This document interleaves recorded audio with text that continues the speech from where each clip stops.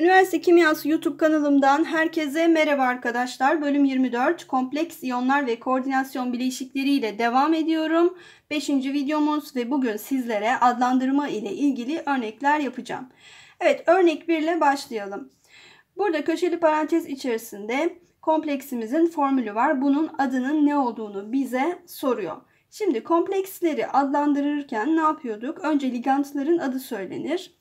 Ligantlara bakıyoruz. Klor ve amin. Alfabetik sıraya göre ligantların adını söylüyoruz. E, o zaman önce amini söyleyeceğiz. Kaç tane amin var? 3 tane var ve amin tek dişli bir ligant. Bunu da biliyoruz. 3 tane olduğuna göre o zaman tri amin.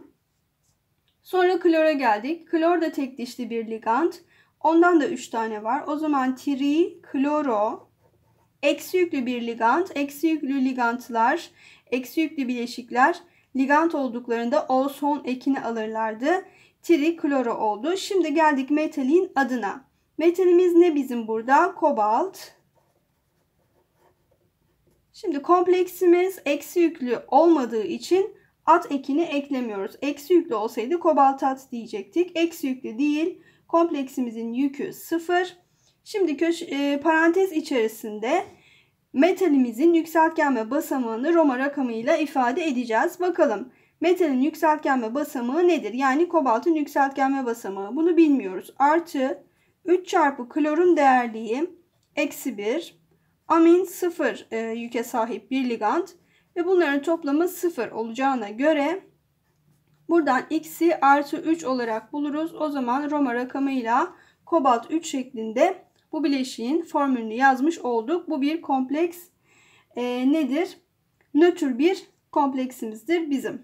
İyonik halde olsaydı kompleks iyonu şeklinde ifade edecektik. Şimdi B şıkkına gelelim. B şıkkında ismi verilmiş formülünü soruyor bize. Şimdi formülü yazarken ne yapıyorduk? Önce metal yazılır. E, daha sonra ligantlar, önce anyonlar, daha sonra nötr ligantlar yazılır şeklindeydi. Penta aqua kloro krom 3 klorür. Şimdi burada klorür demiş. Eğer bu klor ligant olsaydı kloro olurdu. Klorür dediğine göre demek ki bu normal bir şekilde e, yani kompleksin dışında olan bir bileşik. Kompleksin içinde yer alsaydı ligant olurdu ve kloro diye adlandırılırdı. Kompleksin dışında olduğuna göre Demek ki bizim şu kısmımız kompleks. Bu da kompleksin dışında bir bileşik daha var. O zaman bir kompleks içerdiğine göre bu bileşik demek ki bu bir koordinasyon bileşiği diye anlıyoruz. Şimdi koordinasyon bileşiği olduğuna göre önce katyonlar sonra anyonlar adlandırılırdı. Katyon kısmı burası. Yani katyon kısmı bizim kompleksimiz. O zaman şu kısmı kompleks iyonların adlandırılması kurallarına göre adlandırıyoruz. Daha sonra da zaten öyle adlandırılmış. Yani burası kompleks kısmı köşeli parantez içerisinde yazacağız. Dışında da köşeli parantezin klorür olacak. Şimdi kompleksimizin formülünü o zaman yazmaya çalışalım. Önce metali yazarız dedik. Metalimiz ne burada? Krom. Şimdi kromu yazdık. Krom, kromat dememiş. Demek ki kompleksimiz artı yüklü. Zaten ne dedik? Koordinasyon bileşiği. Bu bir koordinasyon bileşiği. Önce katyon sonra anyon kısmı adlandırılır. Kompleks kısmı zaten katyon yani artı yüklü. O yüzden de at eki yok. Şimdi krom. Metali yazdık. Şimdi geldik ligantlara. Aqua nedir? H2O yani nötr bir ligant. Kloro Cl eksi eksi yüklü bir ligant. Önce anyon olan ligantlar yazılır dedik. O zaman kloru yazdık. Bir tane zaten kloru. Ee, bir tane olduğunda mono olarak bu belirtilmez. Bunu da söylemiş olalım. Mono hiçbir zaman kullanılmaz. Şimdi penta aqua sudan 5 tane varmış. H2O 5. Bu bizim kompleksimiz. Şimdi krom 3 demiş. Kromun yükseltgenme basamağı artı 3 kompleksin yükünü bulmaya çalışıyoruz. Kromun yükseltgenme basamağı artı 3. Klor eksi 1 yüke sahip. Su 0 değerliğe sahip. Bunların toplamı ne yapar? Artı 2. Yani kompleksimiz artı 2 yüke sahip. Ve bunun dışında da klorür var. Klorürün de eksi bir yükle, yüke sahip olduğunu biliyoruz. O zaman ne olacaktır? Kompleksimiz artı 2, klorür eksi 1. O zaman bu artı 2 klorun altına gelecek. Bunları silelim. O zaman bu şekilde formülünü yazmış olacağız. Bu koordinasyon bileşiğinin. Şimdi devam edelim C şıkkıyla. Bu bileşiğin adını soruyor bize. Şimdi bakıyoruz yine köşeli parantez var. Yani bir kompleks var. Kompleksin dışında bir e, bileşik daha var. O zaman bu durumda ne olmuş oluyor bu? Bu da bir koordinasyon bileşiğidir. Koordinasyon bileşiği olduğuna göre önce katyonlar sonra anyonlar adlandırılır. Katyon kısmı burası, anyon kısmı da kompleks. O zaman katyonumuzun adı ne bizim burada? Potasyum. Zaten köşeli parantezin dışındaki yani kompleks iyon olmayan kısmı ismini normal olarak yazarız. Potasyum. Kompleks kısmını adlandırırken adlandırma kurallarını kullanırız. Şimdi bakıyoruz merkez metalimiz demir. 6 tane de siyano ligantımız var. Ligantımız sadece siyano o zaman önce ligantlar adlandırılır sonra merkez metali. Kaç tane siyano var? 6. O zaman hegza siyano metalin adı nedir? Demir. Peki kompleksimiz artı yüklü mü eksi yüklü mü? Kompleksimiz tabii ki eksi yüklü. Bu potasyum artı yüklü olduğuna göre kompleksimiz de eksi yüklü. O zaman demir için metalin özel adını kullanacağız. Kompleksimiz bir anyon olduğundan dolayı. Neydi o özel ad? Ferrattı. Demir için bu özel isim ferrattı. Ve parantez içerisinde demirin yükseltgenme basamağını söylememiz gerekir. Şimdi demirin yükseltgenme basamağını nasıl buluruz? Potasyumun artı değerlikli olduğunu biliyoruz. Buraya 3 geldiğine göre demek ki kompleksin yükü de eksi 3'müş. O zaman demirin yükünü yükseltgenme basamağını bilmiyoruz. Artı 6 çarpı siyanür eksi yüklü bir ligand eşittir. Bunların toplamı kompleksin yükü olan eksi 3'e eşit olmalı. O zaman x eşittir. Eksi 6 buraya artı 6 olarak geçer ve artı 3 olarak buluruz. Demirin yükseltgenme basamağını ve bunu da Roma rakamıyla parantez içerisinde yazarız. Potasyum hegzasiyanoferrat 3 bileşiğimizin adıdır. Şimdi gelelim D şıkkına. D şıkkında da yine isim verilmiş, formül istenmekte. Potasyum hegzasiyanoplatinat. 4. Şimdi yine potasyum normal isim söylenmiş. Demek ki bu e, bir koordinasyon bileşiği yine koordinasyon bileşiği olduğunu anlıyoruz. Hexasiyanoplatinat 4'te kompleks kısmı bu koordinasyon bileşiğinin. O zaman potasyum e, koordinasyon bileşiğinin dışında K'yı yazdık potasyum olarak. Önce katyonlar sonra anyonlar yazılır yine. Aynen mesela sodyum klorür yazdığımız gibi önce katyon sonra anyon yazılıyor. Bunun gibi burada da koordinasyon bileşiğinde de önce katyonu yazdık. Şimdi geldik anyon kısmına. Anyon kısmı da bizim kompleksimiz. Bu kompleksi adla, e, kompleksin formülünü yazarken ne yapıyoruz? Köşeli parantezi aldık. Önce metalin e, formülünü yazacağız. Platinat yani platin. Platinat demesi de zaten kompleksin eksi yüklü yani anyon olduğunu bize gösteriyor. Metali yazdık. Daha sonra ligantlar yazılır. Zaten burada tek ligant var. O da siyano. Siyanodan kaç tane varmış? 6 tane hegza. O zaman CN6 şeklinde yazdık. Şimdi platinin e, yükseltgenme basamağının 4 olduğu söylenmiş. Yani platin artı 4. Artı 6 çarpı siyanür var. Siyanürün de yükü eksi 1. Bunların toplamı bize kompleksin yükünü verecek. Eksi 6 artı 4'ten eksi 2 çıkar. Kompleksin yükü eksi 2. Potasyumda artı 1 olduğuna göre bu eksi 2 o zaman potasyumun altına gelecek. Ve bu şekilde formülünü yazmış olduk ismi verilen bileşiğin. Gelelim E şıkkına. Bu bileşiğin adı nedir? Yine burada köşeli parantezde bir kompleks var. Kompleksin dışında bir tür daha var. O zaman bu da koordinasyon bileşiğidir. O zaman koordinasyon bileşiğini adlandırırken önce katyon sonra anyon söylenir. Katyonumuz bir kompleks. Şimdi o zaman burada kompleksleri adlandırma kurallarını kullanıyoruz. Önce ligantlar. Ligantlarımıza bakalım. S, C, N. Bu nedir? Tiosiyanato S. Bu da amin. Alfabetik sırada amin önce geldiğine göre kaç tane amin var? 5 tane ve tek dişli bir ligand olduğu için aminimiz penta'yı kullanıyoruz. Penta, amin, sonra tio, siyanato, S, kükürtten bağlandığı için tiosiyanato S. Sonra metalin adı kobalt. Kompleksimiz artı yüklü olduğu için kobalt olarak kaldı. Şimdi kobaltın yükseltgenme basamağını yazacağız. Kobaltın yükseltgenme basamağını bulalım. X diyoruz kobaltın yükseltgenme basamağına. Tiosiyanato S eksi yüklü bir liganttır. Eksi 1. Amin 0 yüke sahiptir. Şimdi bunların toplamı da kompleksin yükü olan kompleksin yükü kaçtır? Klorun yükü eksi 1. Klorun altına 2 geldiğine göre demek ki kompleksimiz artı 2 yüke sahip. O zaman buradan x eşittir. Bu eksi 1 buraya artı 1 olarak geçer ve x artı 3 olarak bulunur. O zaman kobaltın yükseltgenme basamağı 3'tür.